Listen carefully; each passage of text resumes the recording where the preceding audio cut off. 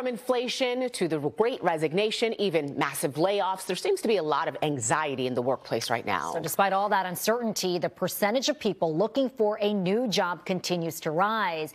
But if you are struggling with how to navigate the ever changing labor market, News 4's consumer reporter Susan Hogan has the latest job trends and ways you can prepare for the unexpected.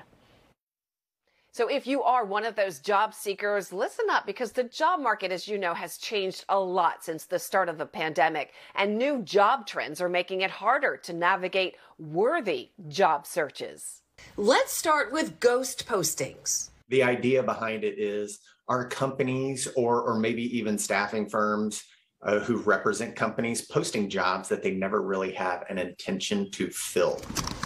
The problem is, job seekers are spending hours applying to jobs managers no longer have the budget for or just posted it for appearances. To give the front that things are going great during a recession and they're not being impacted in case they have suitors who are looking to buy the organization that they're not being impacted by this recession. One way to identify ghost postings is to look at the date of when it was posted. But David says it's hard to tell the true reason why a company might be holding on filling a position they posted weeks ago. There could be a number of different reasons that it comes across as a ghost posting. Sometimes companies just continually are looking for that same skill set.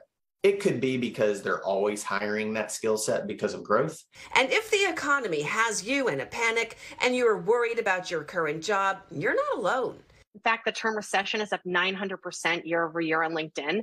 So it's certainly top of mind for professionals right now. First, update your professional profiles and resume. Make sure they have the most recent information listed. Keep your network warm. Reach out to other professionals in your industry and start building those relationships now. You don't want to cash in only when you need a favor or recommendation. Make a list of your skills. Many managers are leaning into skills based hiring now. And the last thing I'd recommend you do is if you're interested in looking for a new role, put your feelers out there for new job opportunities. And it's not all bad news. There are some industries that seem to be growing if you are considering a career change. Healthcare, government administration, customer service, and education have been seeing hiring gains, so that is certainly something to think about. I'm Susan Hogan, News 4.